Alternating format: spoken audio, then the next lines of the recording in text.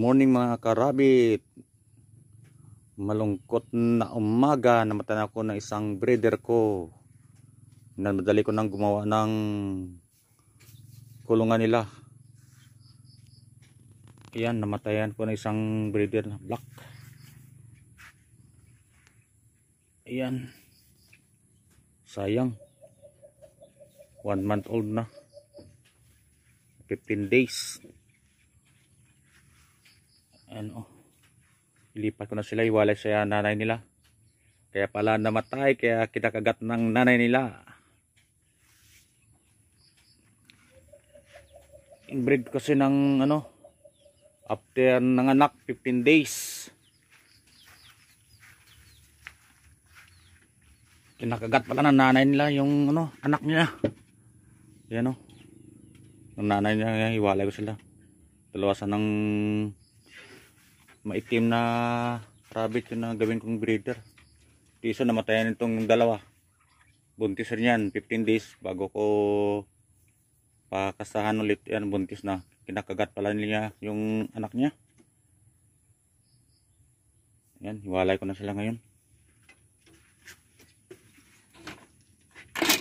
Sayang isa kong uh, itim na rabbit dito na, na isa lang natira.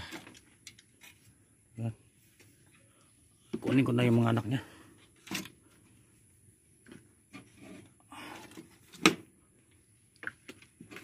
Iwalay ko na sila lipat sa bagong kulungan ko. Hmm, may isa ka na dyan. Suluhin mo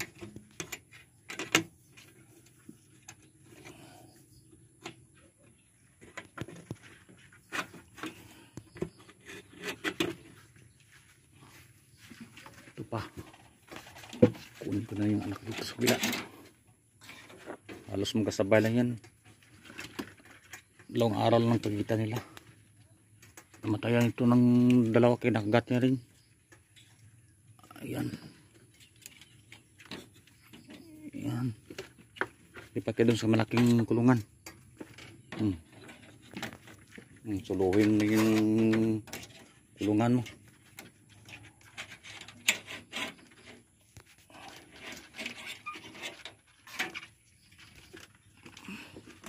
na lipat bahay na kayo. Lipat bahay na kayo. Hmm, excited ka. Hmm, ito na bagong bahay nyo. Sa dalawa tatlo apat lima anim pito walo namatay po ng apat na piraso. Yan. Yan hindi yan sila magkano kay kain na kayo kain na yan.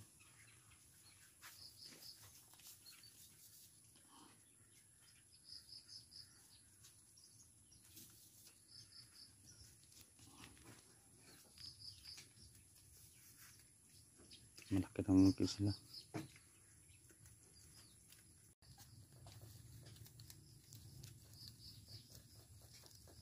happy na sila sa bagong bahay nila. Lesson learned sa mga karabit. Pag uh, alam nyo na buntis yung inahin nyo hiwala nyo na kaagad kay kasi kinakagat niya yung anak niya. Yun apat na nawalay sa akin. Hindi ko kasi nagawan kaagad ng kulungan eh. Sayang yun malaki na. Higit sang buwan na you know? Luck you know?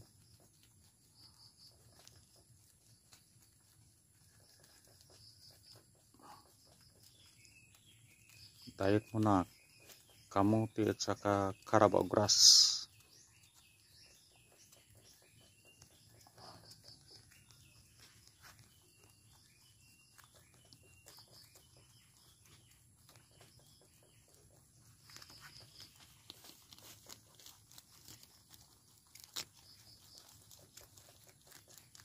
Yung itim, isa na lang.